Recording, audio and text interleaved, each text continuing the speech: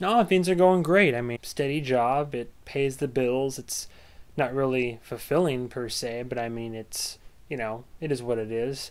On the side, I try to do what makes me happy, what little bit I got left of that. It's not really taking me anywhere right now, but it, it's something, right? Or I'll find a good opportunity and be able to take that forward, and make something of my life, maybe find someone in the process, and who knows, maybe there's still, uh, still hope here. Maybe life's gonna go in the right direction, you know? The despair.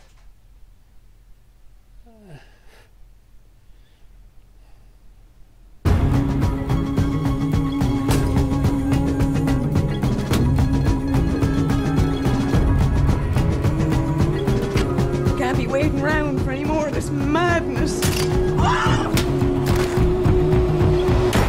Let's just call it quits. We won't call it quits. We'll call it the start. Top of the morning to you, laddie. Today we have the Banshees of Inisherin. I, I, I really contemplated doing the whole review in a in a, a shitty Irish accent. I am predominantly Irish, but the best I can muster up in this regard would be just be like, "Oh, we're gonna go over to the to the movie theater and course, yeah, film or two. But yes, we have the 2022 release, The Banshees of Inisherin, which uh, surprisingly enough, uh, more people than I thought both in my movie friend group and beyond have heard about this.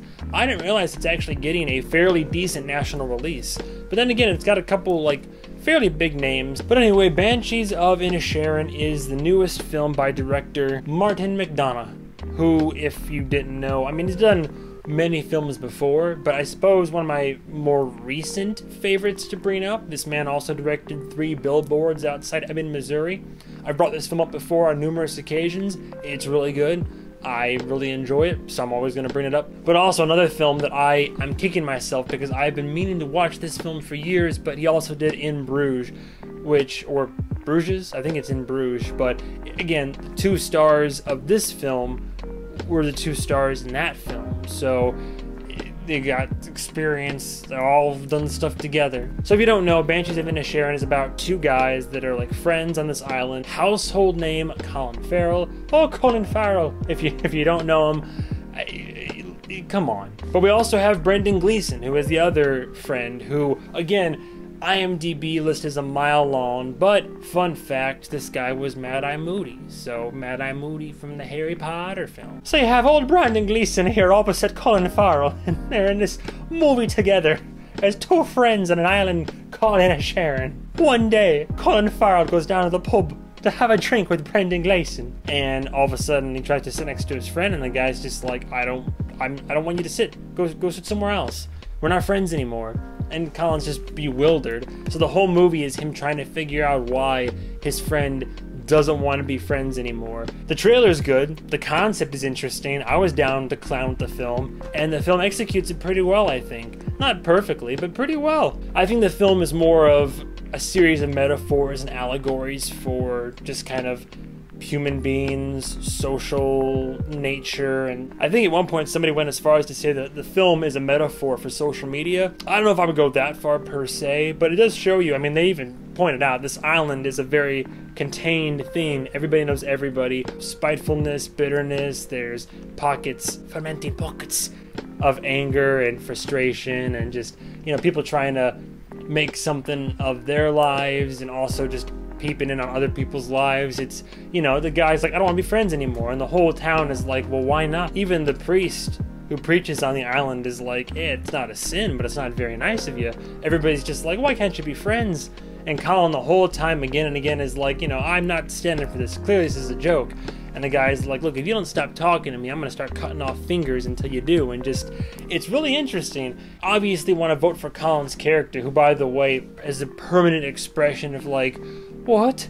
The whole film just, what? What's going on? Like, you feel so bad for him. He's just, a, I like how Colin can go from like grimy, sleazy, greaseball, underworld villain to being like, oh no, I just, you know, I'm nice, I'm a nice guy. I don't understand why he doesn't want to be friends anymore. I like how it shows what seems to be a very simple decision for one person has a lot of ripple effects, not only for his friend who now is like spiraling mentally like he his character and demeanor to everybody around him changes because he's just like what did i do wrong? And the guy's like you didn't do anything wrong. I just don't like you. I think you're dull. You're simple. You're you know basically calling the guy like like unimaginative, stupid, uncreative. And can you imagine what headspace that would put you in if a guy you've been friends with for who knows how long is like, you know what, I don't like you. I think you're you're pretty you're pretty dull. Not even like not even saying that he has anything against him. That's the worst part. He's just like, no, your fundamental core character is just not good. I don't know about you, that would fuck me up. Like I lost a close friend recently, not to death, but to lack of inaction and also certain decisions on his part. While that was kind of building up for a while, it all kind of happened like that,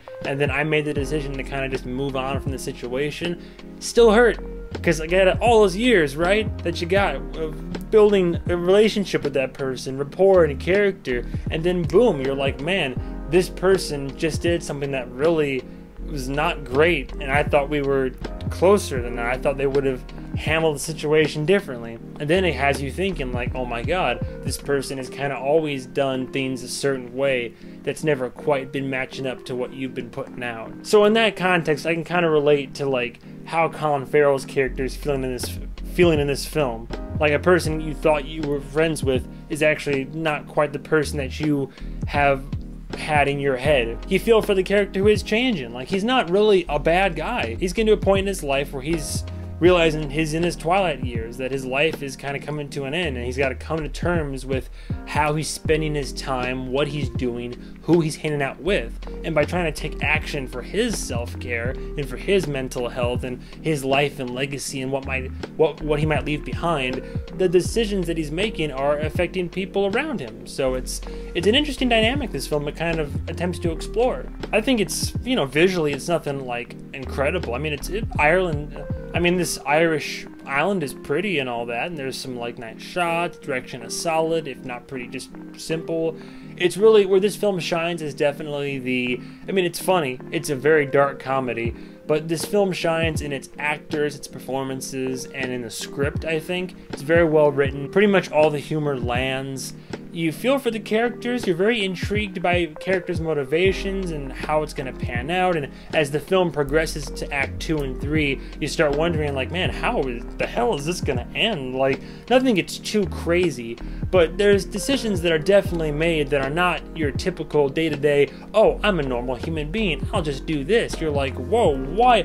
What is this guy thinking? Why are we doing this? So it really it doesn't go off the rails, but you're just like, oh, okay, that was a choice. I do and don't like how it ended. I think it kind of comes full circle in a way. If you watch the movie, you'll know what I mean. I, I guess like narratively, thematically, it all it all kind of comes around. There's definitely character arcs, and I like that. Everybody kind of you know, not everybody is the same as when they started out in this film, especially our protagonist. Everybody changes to one degree or another. But at the same time, it's interesting because as these men are kind of changing on screen, they can't help but still have sympathy and empathy and still be holding on to these parts of them that they're trying to let go of and they're trying to move on from. And I like that. Again, another very human film. I, I use that term. It's a very human design.